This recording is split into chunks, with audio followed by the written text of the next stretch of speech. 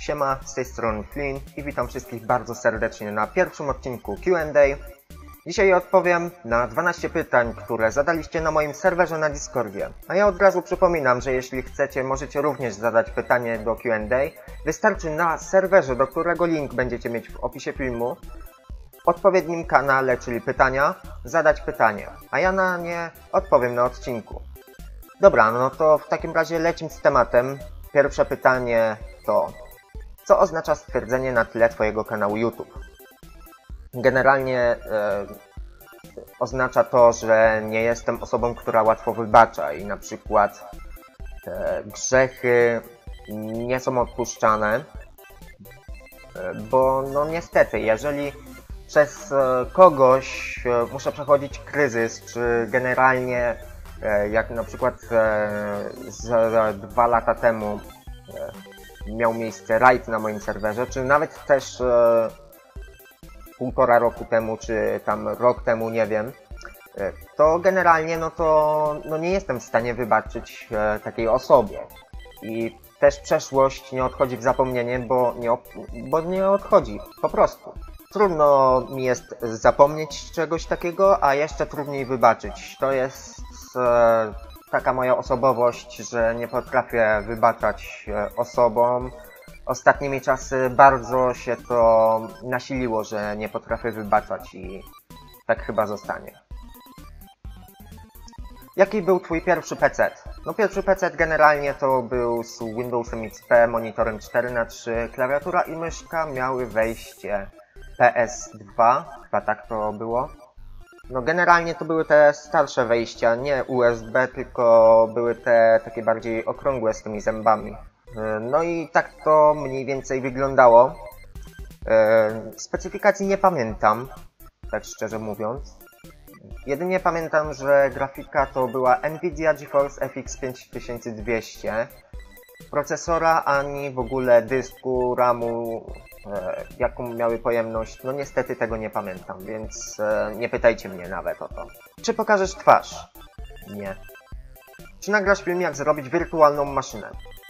No generalnie e, filmy, jak zrobić wirtualną maszynę, czy to na zagranicznym YouTubie, czy na polskim, są tak naprawdę, więc no i mi się tak średnio by wiedziało robić taki poradnik, tym bardziej, że no, na chwilę obecną mam słaby komputer. No i cóż mogę powiedzieć?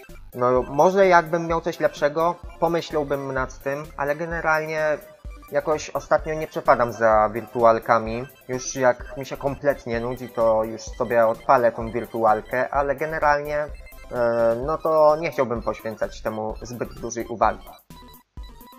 Skąd ta nazwa Flynn? Pozdro.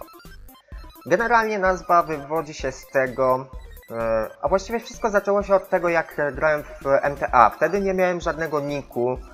E, Grałem to jeszcze na takim bardzo starym laptopie siostry. E, Świętej pamięci oczywiście e, laptopie. E, No i nie miałem pomysłu na nick.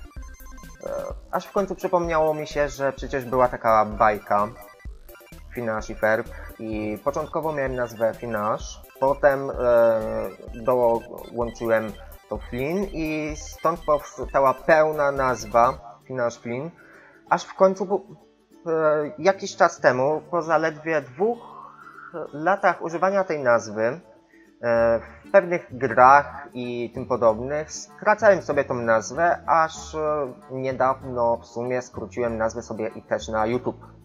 Stąd też nazwa Flynn. No i pozdro. Czy miałeś kiedyś netbooka?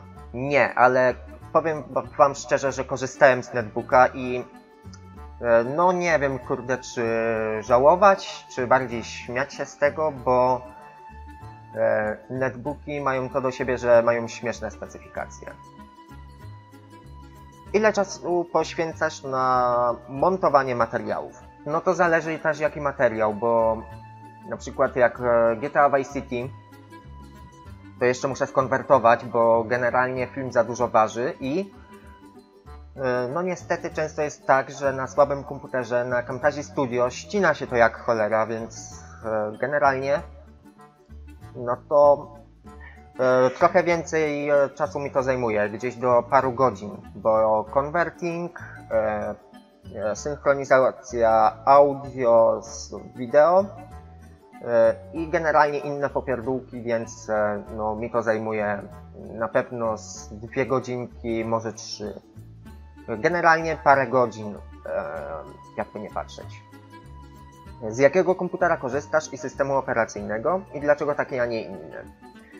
E, No, z komputera korzystam obecnego, czyli z e, Intel Core i5 2400, Intel HD Graphics 4 GB RAM, no i oczywiście Windows 7. Dlaczego taki? No cóż, no e, wcześniej jak mi laptop zdechł, to nie miałem po prostu wyjścia i musiałem e, czegoś szukać po taniości, bo miałem niestety bardzo mały budżet i e, generalnie no trafiło mi się coś takiego. Nie jest to jakiś komputer wysokich lotów, ale no ważne, że działa i że mogę cokolwiek na nim zrobić. Jaki był najstarszy twój komputer? No to ten, e, co odpowiedziałem e, wcześniej e, na pytanie Anusiaka, czyli ten komputer z Windowsem XP. Czy kiedyś miałeś styczność z telefonem Windows Phone? Nie. Czy kiedyś miałeś urządzenie z systemem macOS? Nie, choć bardzo bym chciał, bo macOS wydaje się naprawdę być ciekawym systemem.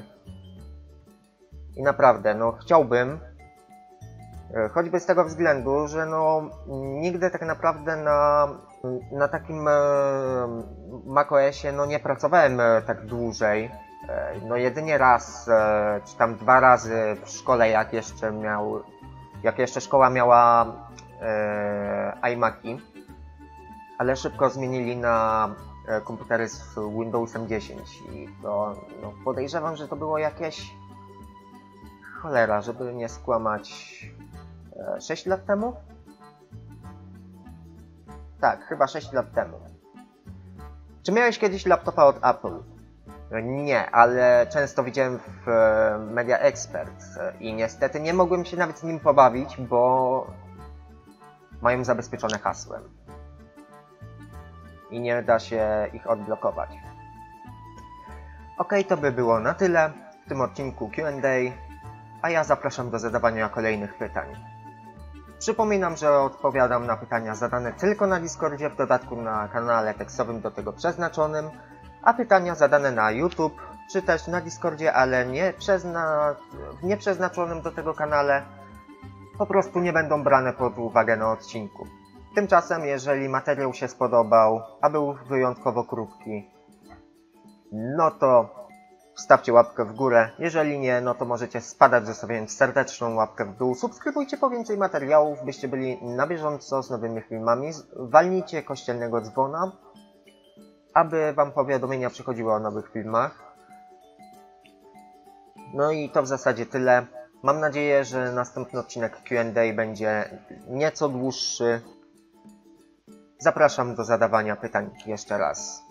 To by było na tyle. Ja się żegnam. Na razie.